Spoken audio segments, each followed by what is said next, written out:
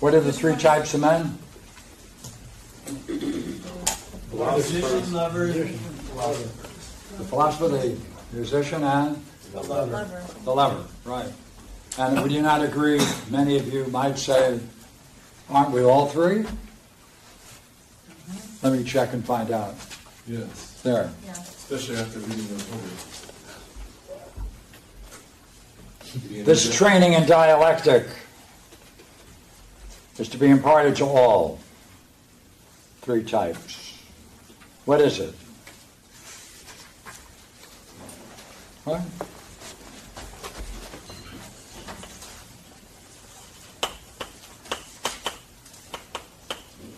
What? What each thing is, its difference, Right, there it is.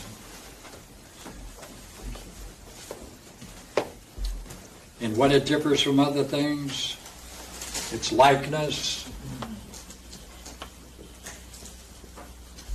or what it resembles, and what category, right?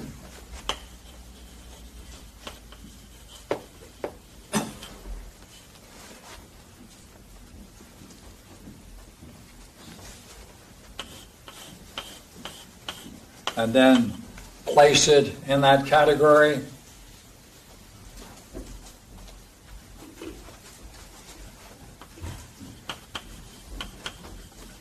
Existence or not? Agree? How many uh, non existence there are, of course? Just right, the difference between them, how many?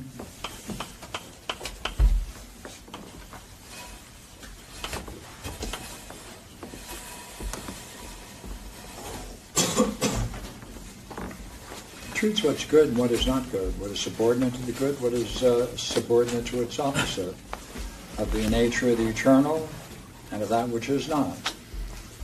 With such knowledge about everything and not mere opinion, it puts an end to error in sense knowledge by establishing itself in the intelligible realm. Right. Would you agree? He picks it up again. It uses his method, Plato, his method of division in order to distinguish ideas, to define each object, to separate the different kinds of being, and alternates between synthesis and analysis until it's gone through the entire domain of the intelligible and has arrived at the principle. Right.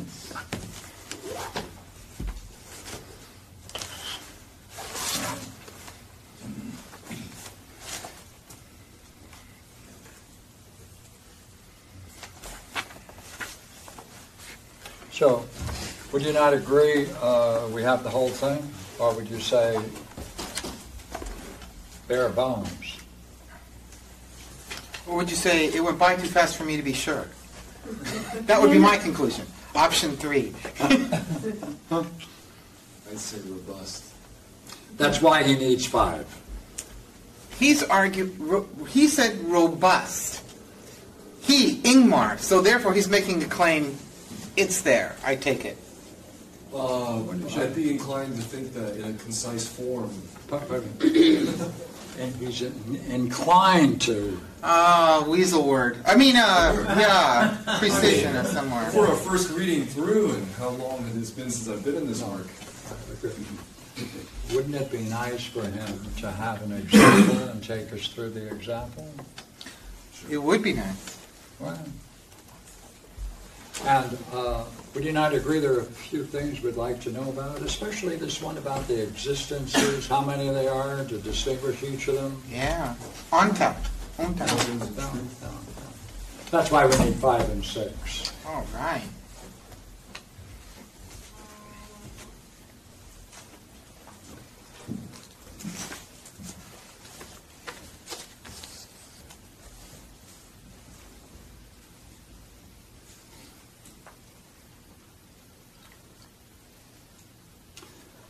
Um, take a look at this, just that first paragraph of five for a moment.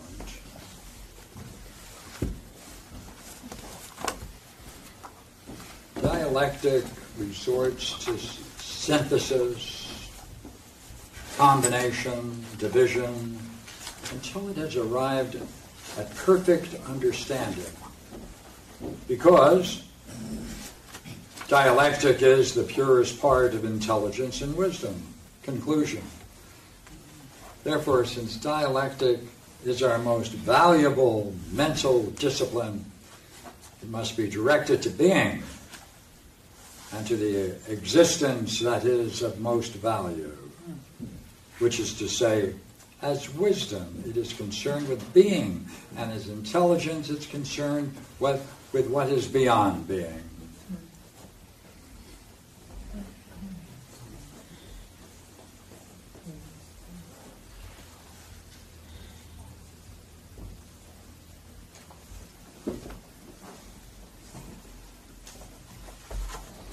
Now, he goes on, and I just want to go to where he picks up the theme again on page 123, which is really the last three sentences. In general, it knows the operations of the soul. Affirmation, denial, whether denial is of, is of affirmation or of something else. It knows identity and difference. Thus it grasps as immediately as sensation grasps its objects. The task of treating them in detail it leaves to those who have a taste for it.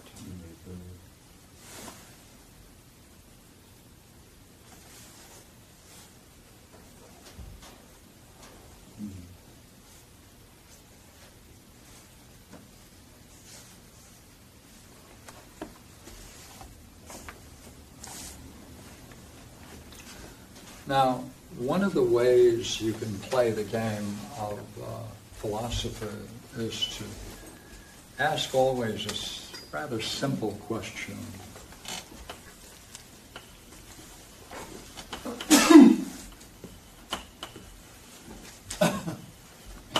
what is it that's being described? And is it something you do something with?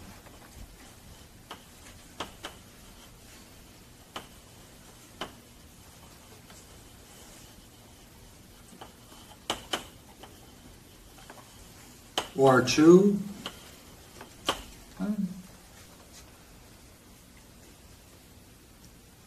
If so, then does it have steps, procedures clear enough for you to follow.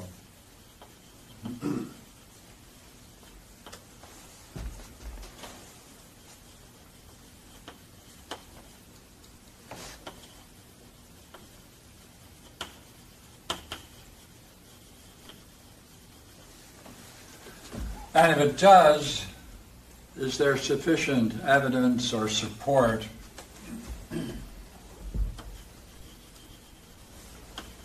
does it reach its goal?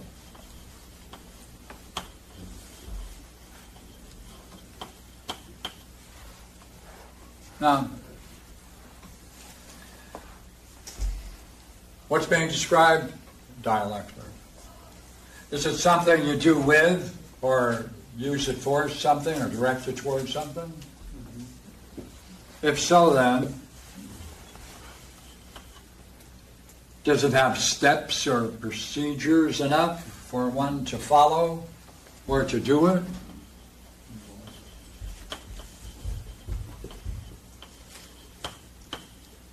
In other words, is it a map? Is it a map that you can follow? Can you use it? Or is it making claims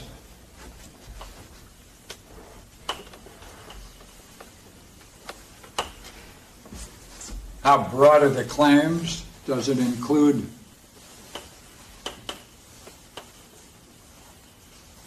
all that is necessary to exhaust the subject?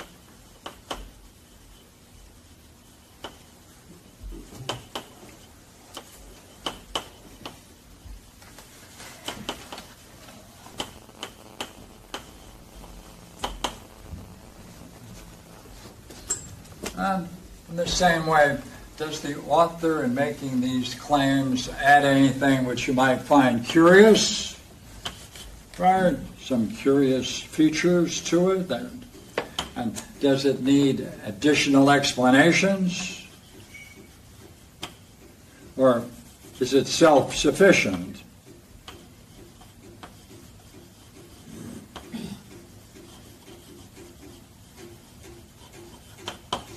Well, That's what you want to know.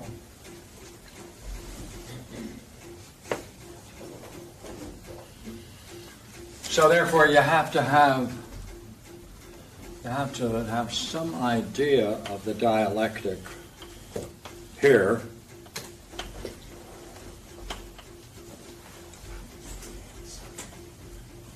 Some model, right, some model, so that you can then use to check off his claims against what you have found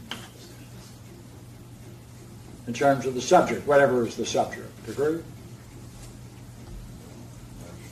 Well, my question is, is that how can he talk about what the dialectic is without using the divided line? Without using it. The example of the divided line as Socrates does in the Republic. Well, that is a rather curious thing. Know, I mean, he describes there are no, dialectic, there but, are no, ex- yes, there are no examples. yeah, uh, He doesn't take you through it. no. No. But we could ask this question, sir.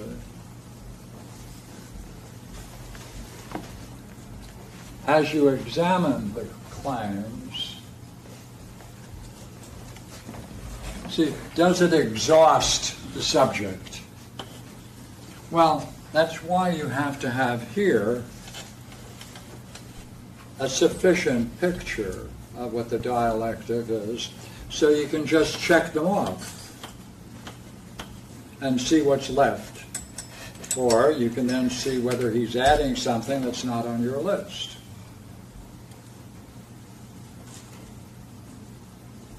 Now, I asked you last week if you could take the time uh, to look over the section of dialectic in Book 6 and Book 7 in Plato's Republic.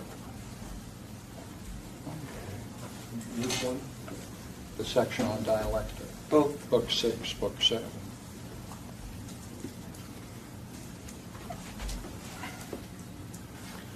And by the way, we're working on the assumption that our friend Elmer O'Brien is a competent enough translator that he's, he's, uh, there's a certain integrity to the text, with the, therefore the key terms follow from the Greek, and let's leave that behind for a while.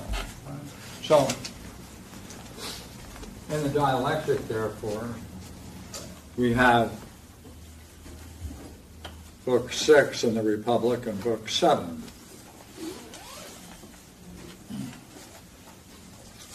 Now, would you not agree we need a volunteer?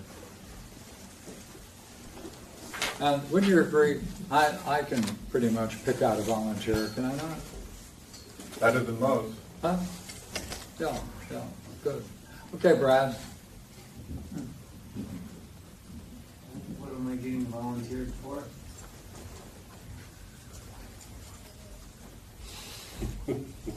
Consider what Plato says in the sixth book about dialect. Right. And by the way, isn't it fair that I call upon you? Yes. Louder? Yes, Good. Why? because I wrote a paper about this, but I forgot. That's right. And were you fortunate or unfortunate enough to pass it my way? I was, but I have, uh, it's baffled me how my paper has slipped from my mind Come on. many times. Seriously. But yeah, I did. Okay, look, there are two goals in Platonic, the whole Platonic world. The good and the idea of the good. The idea of the good, as we all know, is often called the brilliant light of being. Right? So, the good, or the- the one, and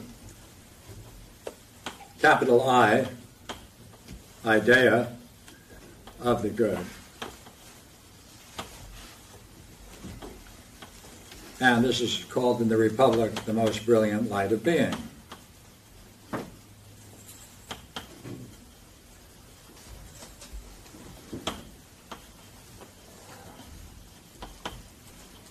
And it also takes on the name of the intelligible.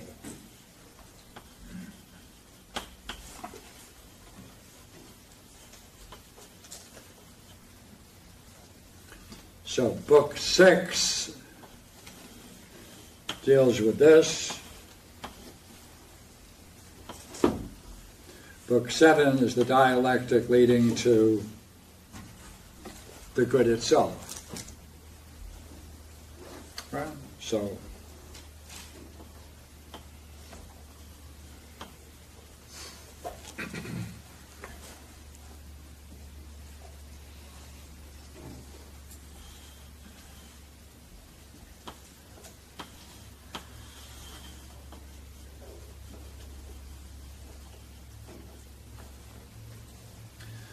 Now, there are other sections in Plato dealing with the dialectic other than um, clearly in the Republic.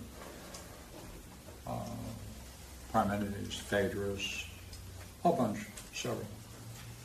Especially the Phaedrus has some good, good comments. Uh, Philebus. So, in any case, let's just take those for a moment.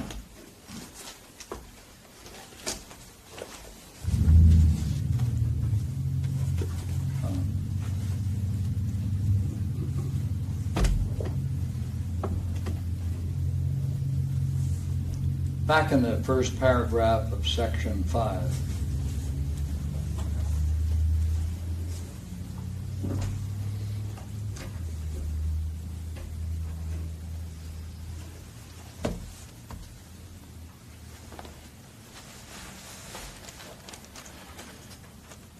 Is there anything in that paragraph that we might be able to use to make our study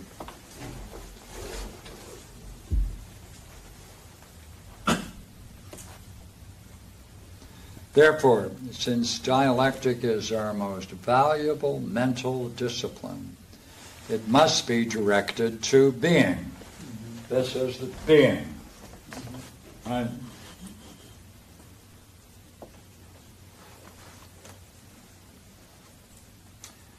And to the existence that is of most value. Existence. That's in the realm of being.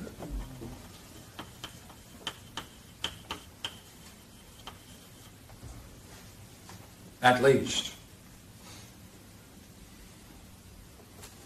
And he's going to explain that, which is to say, as wisdom, it is concerned with being and intelligence. With being and intelligence.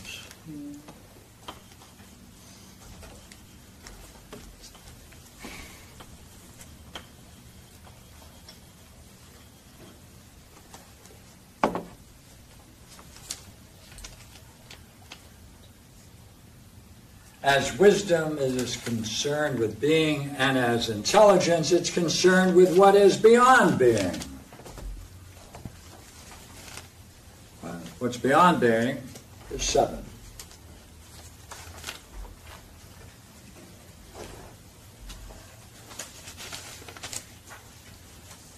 So tell me, as you look at that, how does he link up intelligence with that which is beyond being?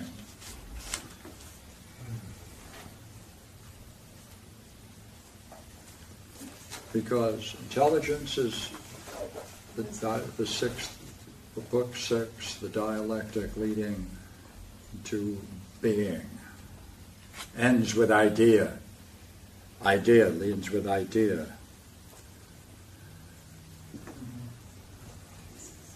What is his approach then? It's through intelligence that you get to that which is beyond intelligence and beyond being. Is that correct?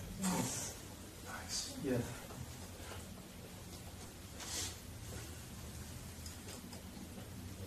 As you take a look at it, come on, just take a look. Is that what it's saying? then he's co- collapsing two different kinds of dialectic into one. Right, what Socrates separated, considers it different. And yet, he makes the case for the fact that philosophy must be concerned with same and difference.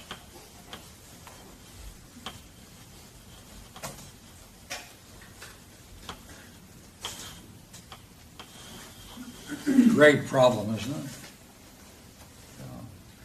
But Pierre, isn't he kind of missing the point of, of the analogy that the Republic makes about the fact that the sun provides, you know, all those things for sight, but it is not, you know, in and of itself that which it creates.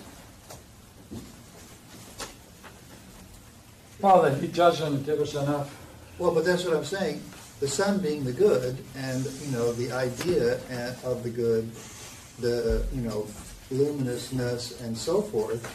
He, he's you know missing the point about the good, you know, having Well, a we separate want- existence. If we want to be generous, see, we're trying to be Okay. generous. Okay. It looks like you're saying it's through intelligence, being, that one reaches what is beyond being.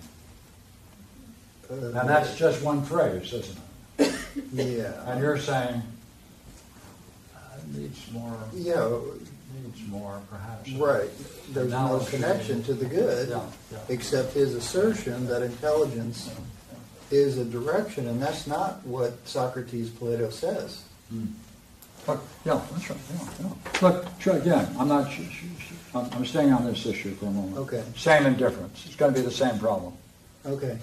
Uh, So, sir, um, when was the last time you were a volunteer? Uh, I think the last time you called on me, Then you have plenty, plenty of experience. especially. Good, good. Tell me, how many things have you uh, experienced in this uh, room that are uh, different? Um, uh, tons, Plenty. plethora, You mean you look around here, you see a lot of differences? indeed. Huh? I have lots of experience with differences, Uh, where do you see same? uh, all over the place. Where? Point it out for us. Uh, I don't know about same, but similar. No, no, no, no similar. Uh, where do you, you see same? Um, Remember Harry Drovidovich yeah, McGee. McGee? Remember him? Yeah. Yeah. He used to go around to people and say, hey, how many changes have you gone through? Yeah, he used to. Yeah, is there, well, have you changed? Or is there something about you that stays the same? Uh, you'd say what? Both. Louder? Both. Both? Well, talk about that which is the same. Since she has experience of both. Go ahead. I'll take the different. No, no, no, no, no, no. no. You need practice. Um, The good beginning. I do that myself. the soul. Um, let me see. the soul. No, no, try it. Soul. It's the same soul. Soul. Do you need help? Yes, I do. Hey, go either to the left or the right.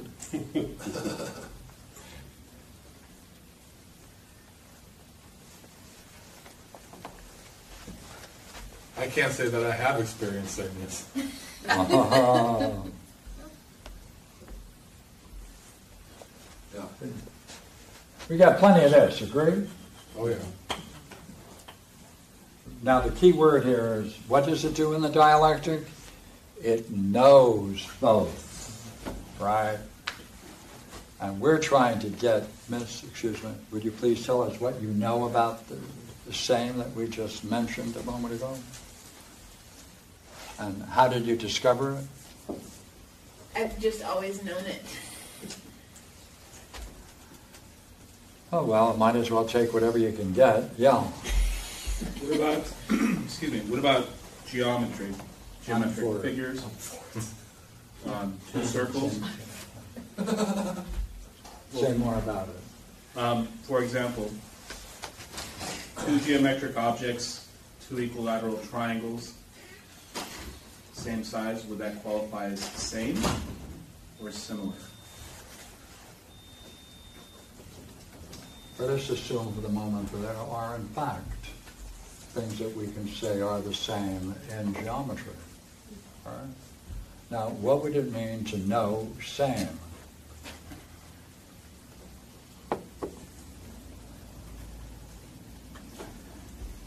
You would have, you would, it presupposes something to reference each example, something to compare them against, like a model. You'd have to say it's the same as something else. Yeah. Or is They're that the same thing for difference? Yes. Both require. Well, then you know both in the same way. Yeah, help out, please. Well, I, I, I see different human, I mean, different people here, and yet I'm able to see that there is an idea of a human being in all of them, the same human being.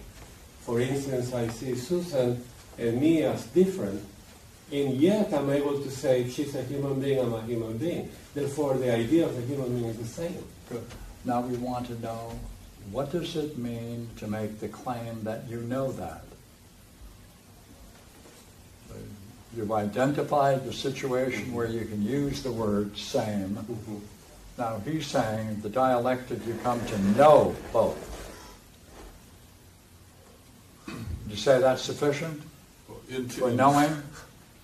in two ge, in two geometric figures that are the, that are the same, they're generated in the same way. The same way you generate a circle is the same way you generate a circle. Let us assume now we, in the realm of geometry, we can point out things that we can say are the same. How do you discover and how do you recognize the fact that you came to know? Now we want to use the word know. Dialectic leads you to know both of these. Is that, that's his claim, is it not? Come on. Stay in the text, yes or no? Mm-hmm. Yes. It knows identity and difference.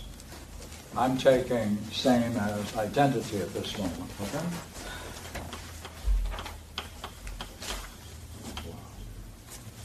Ah!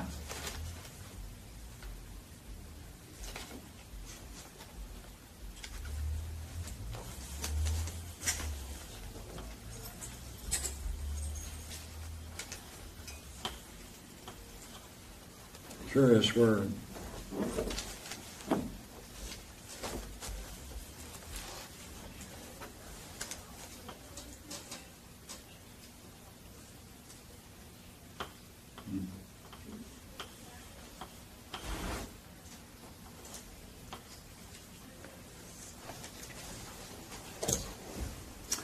By the way, you ever deal with this problem if two things are, if there's an identity between two things, there's only one thing there?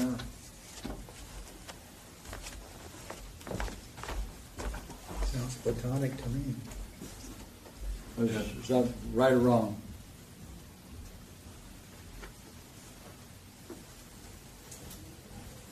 Yes, right. Two plus two and four are the same. We always go to these very complex problems. Well, I like to keep it simple. Well, you didn't. It's a very strange problem. Maybe Here. we have some fun to going into it, but uh, now just take, take your example. How does that show identity and difference? Well, I have to use more letters to say two plus two. But as far as the study of number is concerned, they're identical. See, the, the two issues, okay? We first want to establish there is a way in which we can use the word identity or same to given objects. Then we want to know, how can you be brought to make the claim that you know it? If we get that, we can go to the third. And how is that knowing function of a dialectical exploration? So we got three, see? So let us grant for the moment that we, you have given us several objects that deserve the title identity. All right? Okay. How can you be, how can you come to make the claim that you know identity? Yeah, I wouldn't concern those objects. You'd be cautious about that. Yeah, those objects in But that's, look who you're sitting next to, both on the left and the right, you can call on for help. Or- Yeah. Okay, back row. How can we know identity? Well, I was thinking, um, with your previous question, if there's something common between two things, is there just one thing? Right? Um,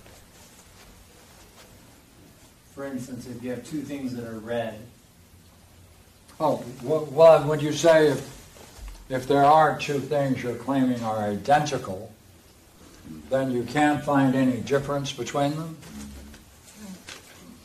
right? And if you can't find any difference between them, you only have one, don't you? Mm-hmm. Well, then, all you have to do is discover how everything is one, and that's the problem of identity. Is that right? Yeah. So, would you describe the part of your, the, your experience of continuously being, being aware continuously of being the same, Brad? And I'll write it out on the board. Can you say that again? Yeah, I can. You just asked me if I could. Really? By the way, are you the same Brad that was here last week? Yes. Oh, good, good. I guess you can point to something that you're saying is the same. Sure. Oh. Has that been around for a while or just recently? A while. Oh, then you have plenty of experience of it. And certainly if someone has a lot of experience of something, they should be in a good position, should they not, Susan, being able to describe it? Absolutely. Yeah, see, she's on your side. Okay, describe it.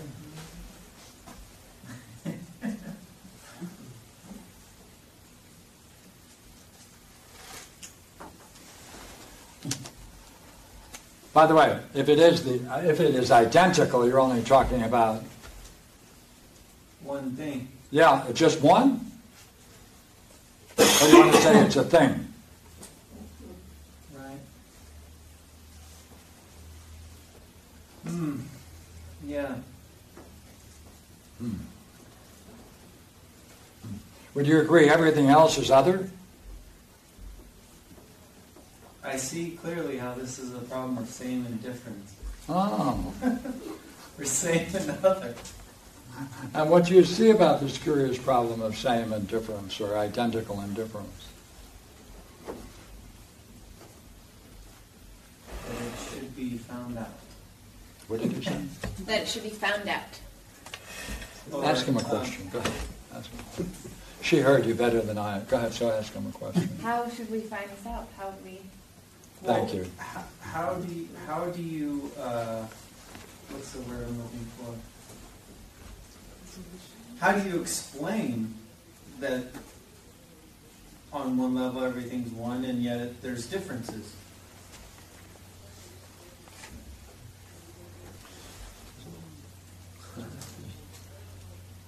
How Or can he turn around and ask a question when he's supposed to be the volunteer who's giving answers?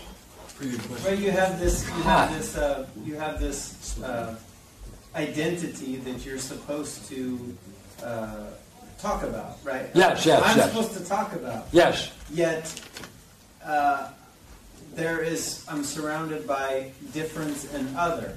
Yeah, well, put that aside.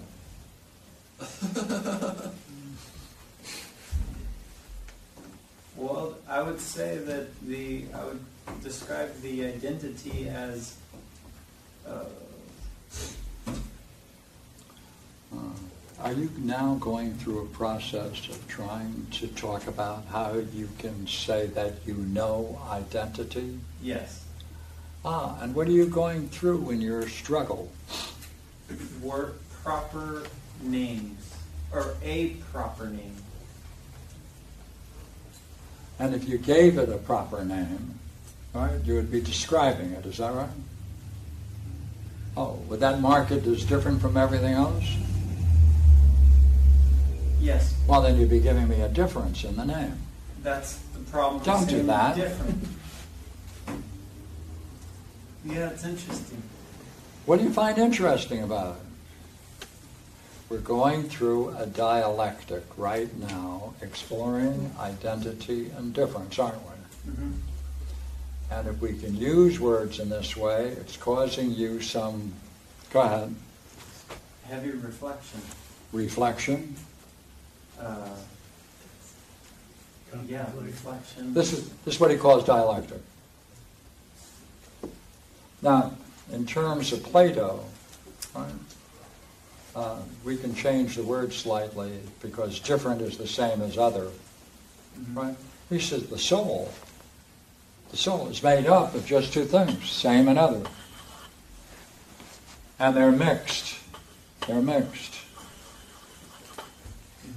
And then with being, they're then doled out, and that generates soul in the universe and in the various ways in which the planets can be said to exist in the cosmos. And ultimately, therefore, the whole Greek diatonic scale and the orders in the heavens. Same and other. Same thing. Same and other. Same in identity and difference. We're trying to explore now how you can be said to come to know the two. That's where we're going. Jump in, please. Okay, can we, can it be, you know, said that the same has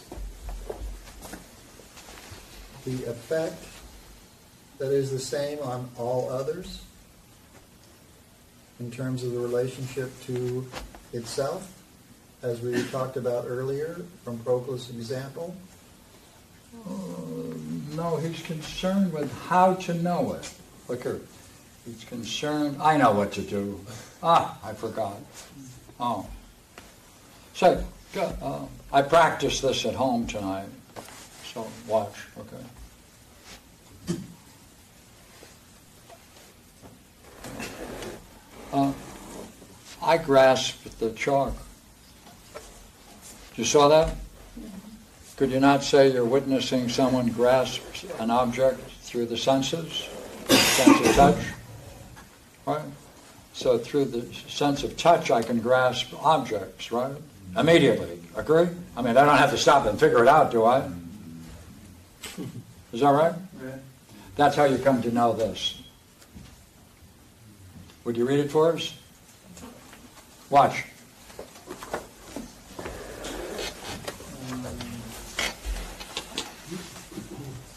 Dialectic accordingly has no knowledge of propositions as such.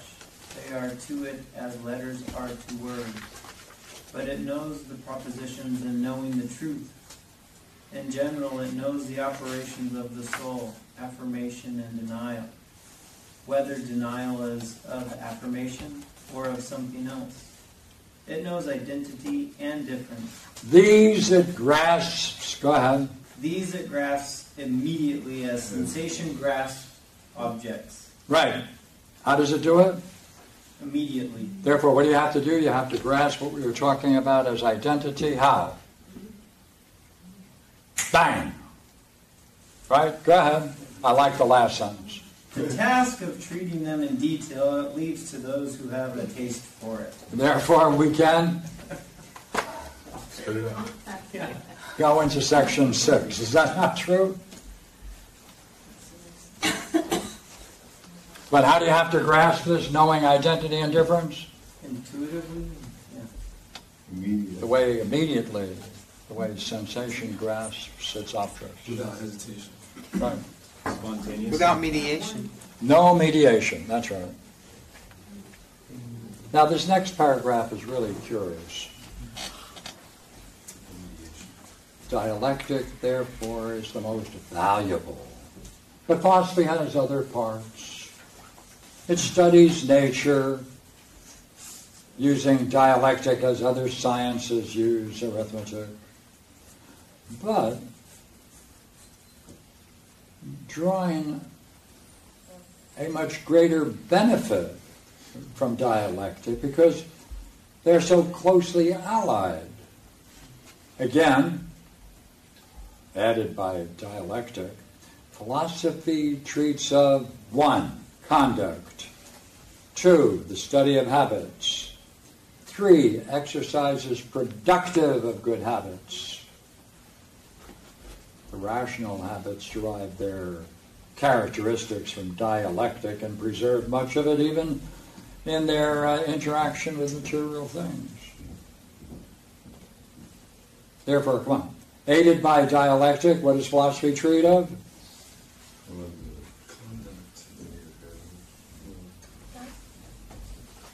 Three classes of things, right? Conduct, habits, exercise, and production of good habits, right? See, it's not this. It's not this.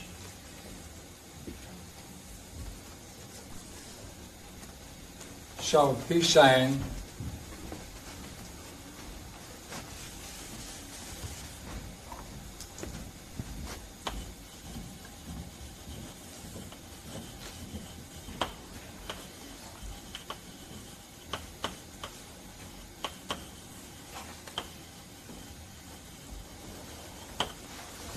the dialectic treats of virtues.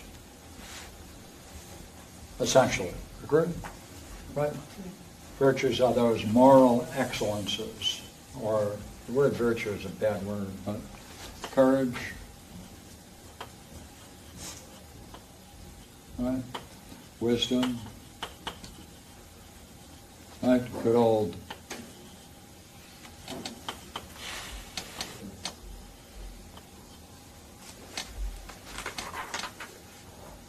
What's the other one?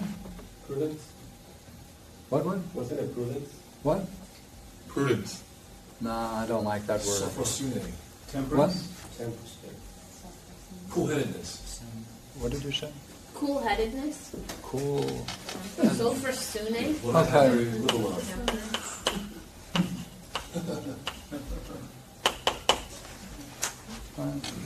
It's that curious word that no one uses anymore, temperance. And that's where I, our colleague used the word keeping her cool, which comes close to what this word means. Right? So dialectic treats of these. And in that respect, these are the objects in the Republic.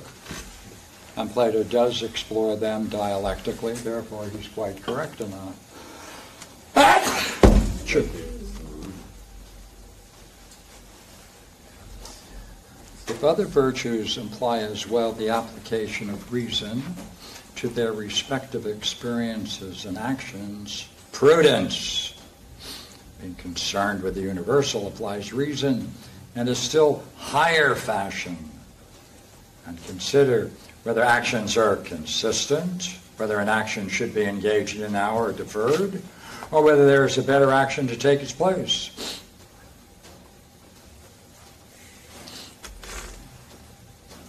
That's called what? Prudence. Haven't really got a better word for prudence? It's phronesis, which you might expect, right? What is it, Barbara? Phronesis. Throw what? Phronesis, which some is in some contexts is wisdom. So that's a range you might want to look at. Ah. Could you say more, a little bit more about this curious word? Just No.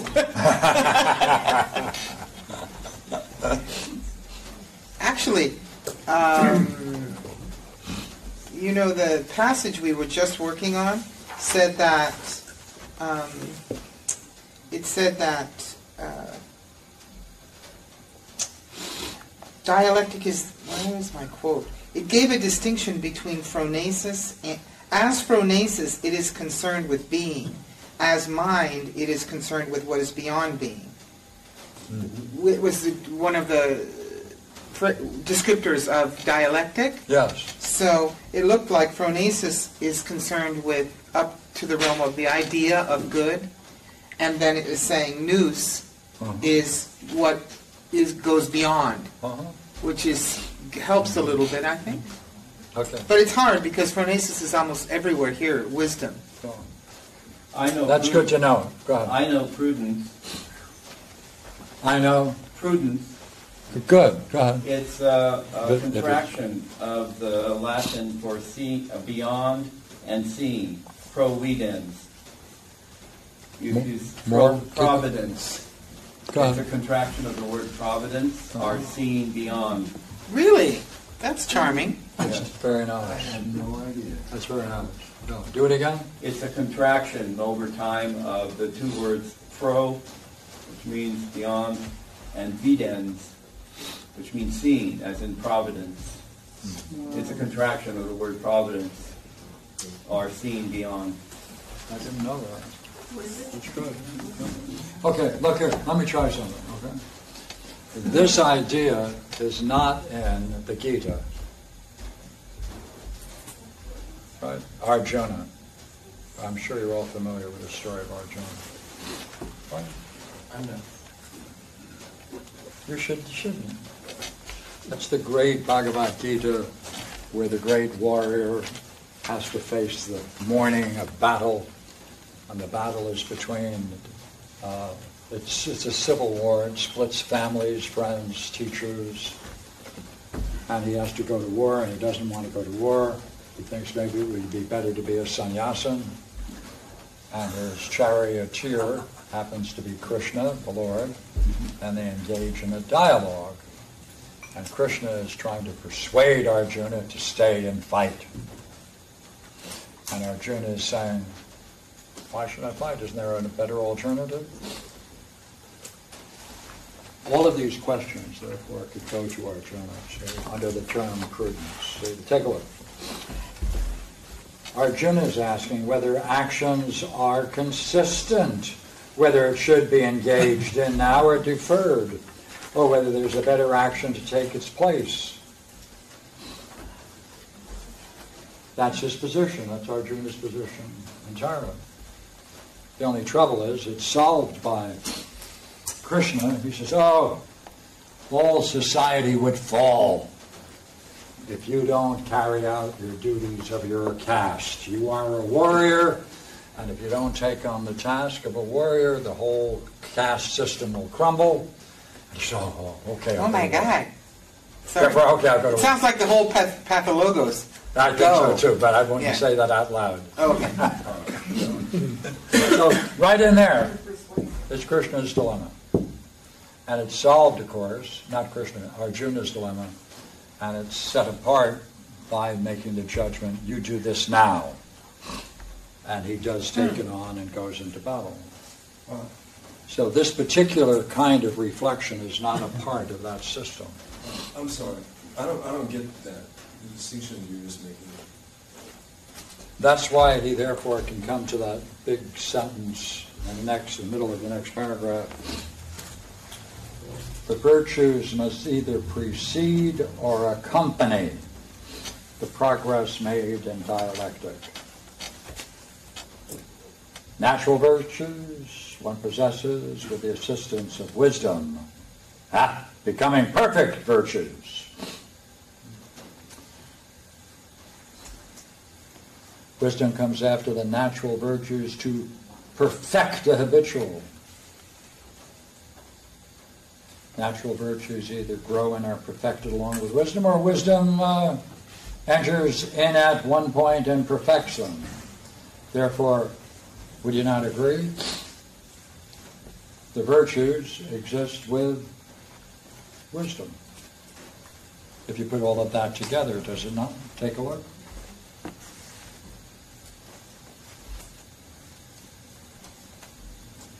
Is that legitimate? Take a look, please. Let me know. Hmm. String those things together.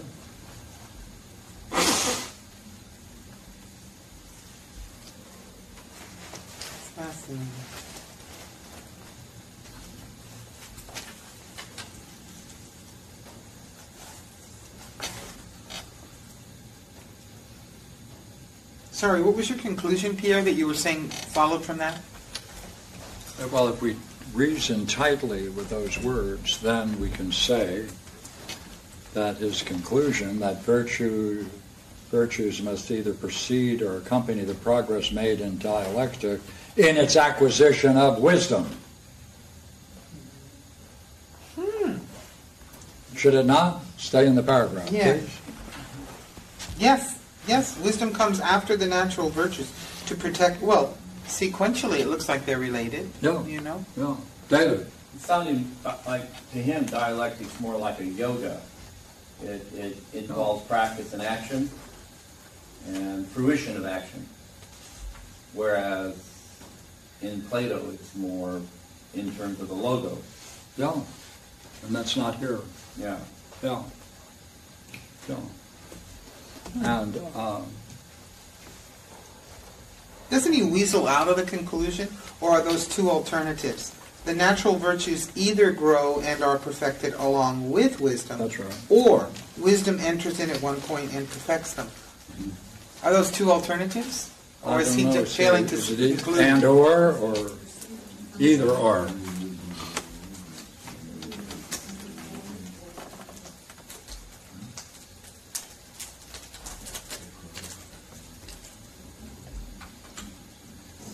Now, uh,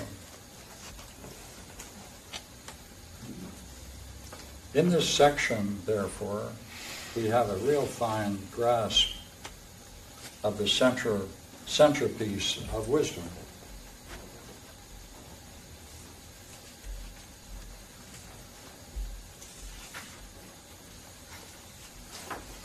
Our perfection we owe primarily to both natural virtue and wisdom. Hmm. And natural virtues that one possesses with the assistance of wisdom become perfect. So, even if you have natural virtues, they become perfect with the acquisition of wisdom.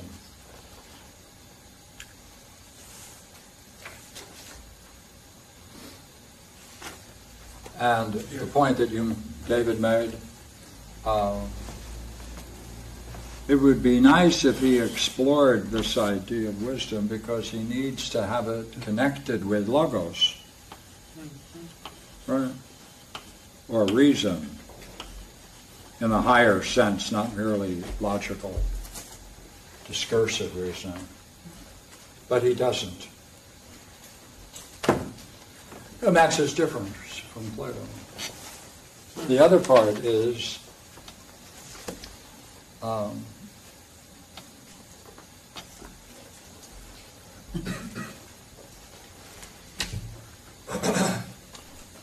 what is this issue? This issue is over desires. Is it none? Any one of these? Mm-hmm. And for Plato, there are two kinds of desires, the wanted and the unwanted, necessary and unnecessary. And for Plato, the unnecessary desires, which cause everybody problems,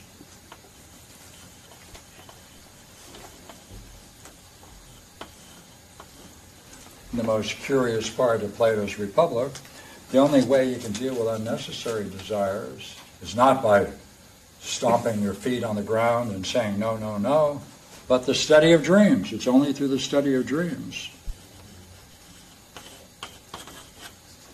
that you can find any way to grasp the problem of unnecessary desires, which is Book 9 in Plato's Republic.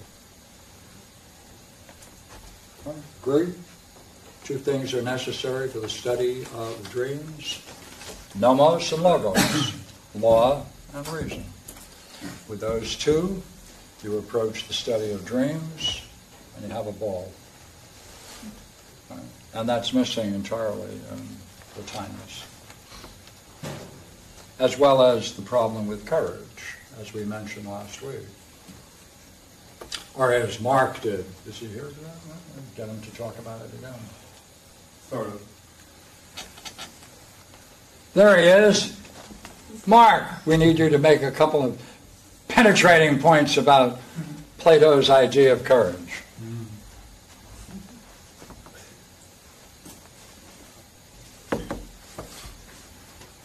Penetrating. Barbara, encouragement. Barbara, encouragement, encouragement. Onwards, onwards. Almost sitting up. What we were discussing last week. Mhm.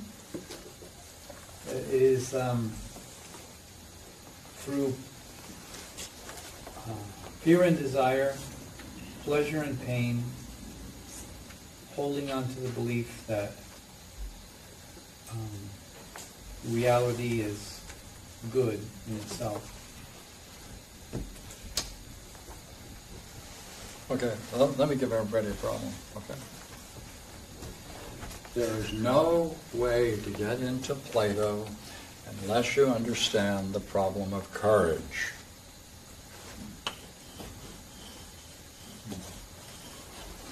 That means you have to go to the section in Book Four of Plato's Republic. It's only a page and a half. And you have to nail down what he means by courage. Now, in this section, there's a great statement about all of the ideas.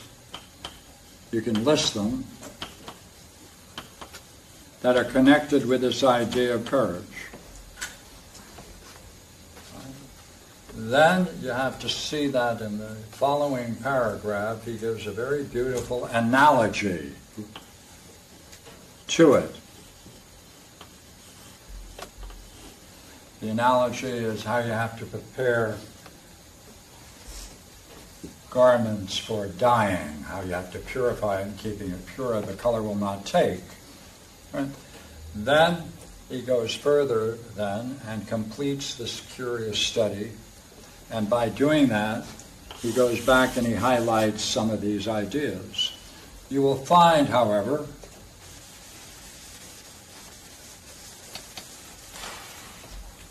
that the key one is that you have to you have to be able to grasp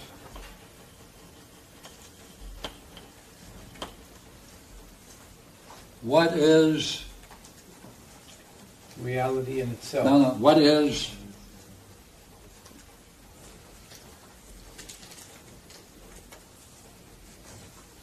In order to, I'm sorry, I don't follow the question. What's that word say? What does it say? you have to have a belief it has to be the object of your education Oh, About what the lawgivers determine is dangerous? what is to be Fear. feared and what is not. Another word for feared. Right. Dan- Yeah, okay. uh, fear. Hmm. Well, And you have to hold this Hate it. belief through both pleasure and pain. and desire and fear. Fear and desire. Pardon? And desire and fear. Yes, yes, yes, yes. yes. And once you do this, it'll be inadequate. Once, Right. oh, right, because you don't know, you have to, you mean you have to don't get know that what is to be most Exactly. feared, and what is and what is not. Yes.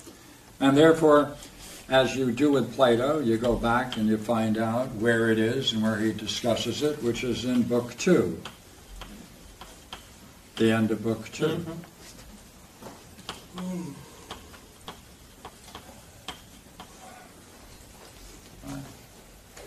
Now, you have to do that to see. right? Because he's going to make a statement. He's going to say, you know, the worst thing which both men and gods hate is To have a wrong idea about the nature of reality. about what is Real. Yes, to be deceived about what is good and what is not. Hmm. Right? And have it in the leading gods part and of your men hate that above all other things. Oh, I just said it. And And, to- have it in the ruling part of the soul. Have it in about the ruling what part of the soul. rules your soul. About how you rule. Yeah, you'll be in a mess. But that's the pathologos, isn't it? Yeah. True lie. Pardon me? He said, uh, this gentleman said, that's a pathologos. That is what the pathologos is. Oh, yeah. False. Oh, sure. Yeah, it's quite true. So therefore, he comes up with this magnificent statement that you have to be able, through any pleasure and pain, not the avoidance and running away from one and running to the other. That's not his game. In the middle of it, you have to hold on to the idea that God is good, Good. in reality.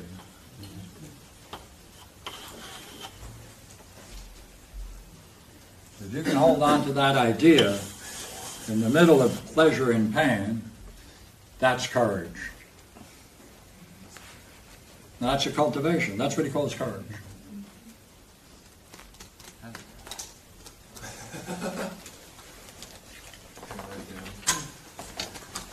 And therefore, isn't it a great thing now that we can leave dialectic behind?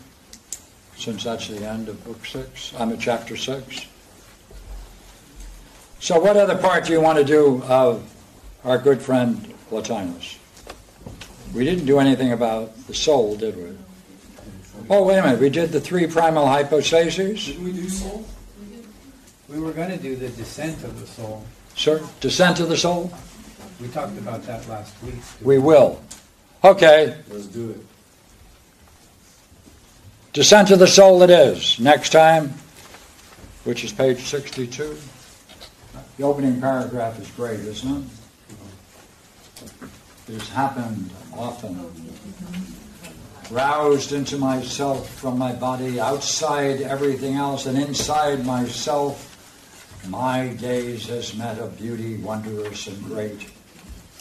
Such moments I've been certain that mine was the better part, mine the best of lives, lived to the fullest, mine identity with the divine. Fixed there, poised above everything in the intellectual that is less than the highest, utter actuality was mine.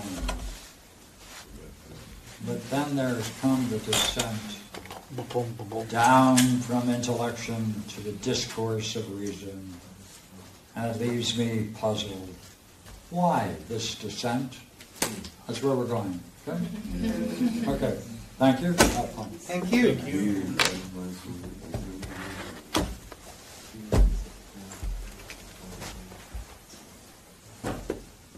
You know, there's one other interesting quote, which is Just last one, just the language he uses here is what is most dangerous and what is not. Dangerous, see, dangerous. Or fear, same thing. Barbara? Oh, I was just going to say that, um, you know, we were talking about phronesis Yes, versus, phronesis, versus nous, yes. right? And I just wanted to say, it's interesting that he makes the quote, dialectic is the purest part of nous and phronesis. So it looks like from, uh, dialectic is that which can moves through both. Can I say that? Or is common to both? Isn't that odd? Because it seems like he distinguishes nous from phronesis, but then he says dialectic is the purest part, and he calls it he calls it a habit or habituation, or the, the term can also mean that which results from having a habit, a conditioning of the soul. But it's interesting that then the dialect is going to be used to distinguish among habits, th those that are good and those that are not, right? So I was baffled a little bit by that uh, because it sounds like it's um, uh, you're using one thing to distinguish the same thing, as if it were circular in some way. So I'm kind of a little bit confused about that, or one could even say a lot confused about that. but what I what I thought was interesting was the dialectic functions in both, in in, in phronesis and in nous. If eh, you know, the other curiosity, of course, is that phronesis. Huh. Always a lot of curiosity.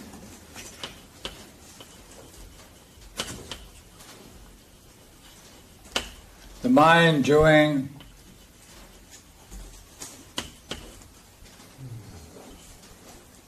the ascent. Right.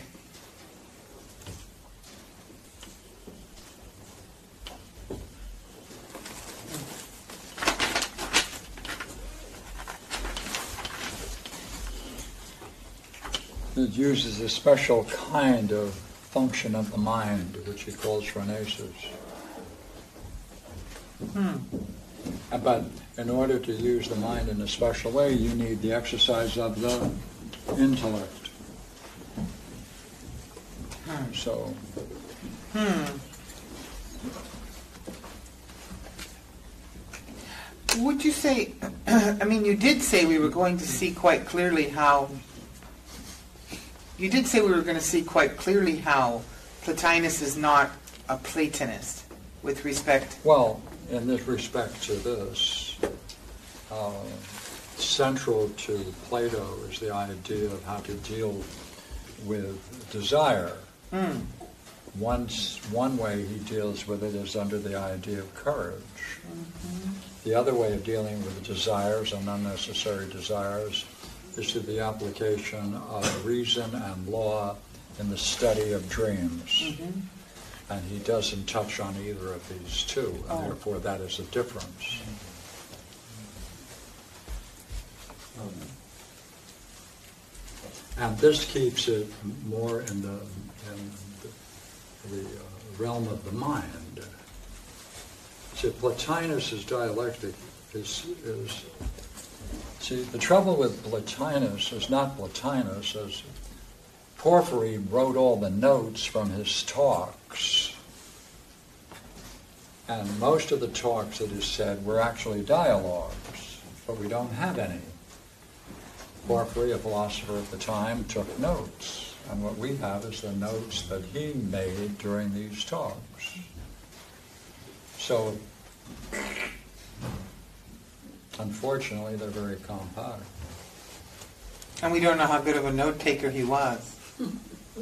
That's true, though there's, yes. Or what do you see? I, it just Oh, seems no, to no, me. no, I'll- no, that's. That's. All we'd have to see is the difference between Porphyry and Plato to see to what degree that same difference is between Plotinus and Plato. We could attribute it perhaps as a bridge to Porphyry. Hmm. Pierre, And for Porphyry, the points we just made are not present either. Hmm. what was the point you were making about Arjuna? Pardon? What was the point you were making about the Gita? That the Gita does not do what? Because you, you went through a recollection. Plotinus does not use the idea of courage the way Plato does in the Republic. No, I'm going back before Good, that. good. What does the Gita, the Bhagavad Gita, not do?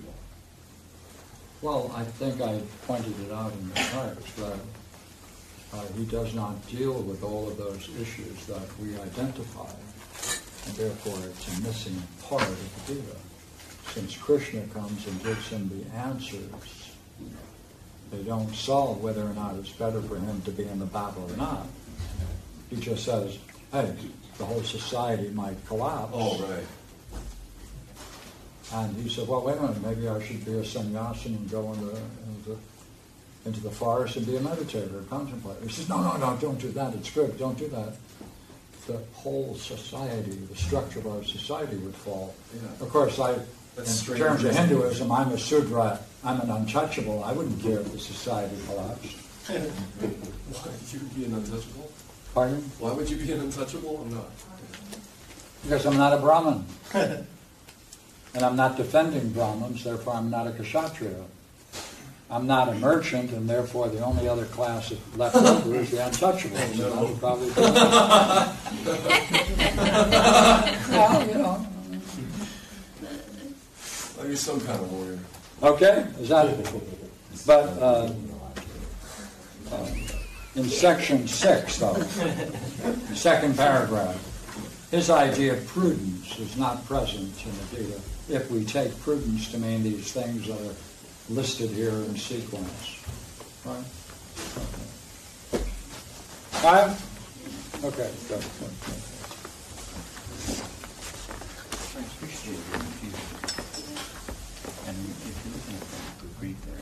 But Pierre, Oh, any announcements? how does Plotinus deal with desire? My question, Pardon? How does Plotinus deal with desire? He doesn't deal with it with Plato. How does Plotinus deal with desire? Yes, he has about uh, Could be. seventy or But, more you know, it looks, doesn't look like the on is that much help, that's, that helpful. No. Where's the translator? It's not in there. Problems Well, with the soul. Yeah. But you're looking at the grade. And one Yeah, I was. Very looking at the interesting words. But he still doesn't deal with it this way. Oh, and, the- yeah, that's, oh, and with respect to that, I agree. It doesn't look like O'Brien Okay. does a very good grasp Good, good, okay. Those wisdom points, which is a big place at the top. I got, uh, I know. another letter from Mr. For five hundred. Kind of like O'Brien, I'm reluctant to make that. Yeah, conclusion. he, well, he One makes is us what driven. kind of.